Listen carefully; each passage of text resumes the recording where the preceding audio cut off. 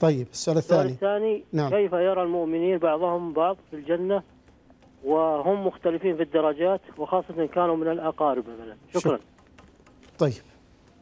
المؤمنون يرى بعضهم بعضا يوم القيامة؟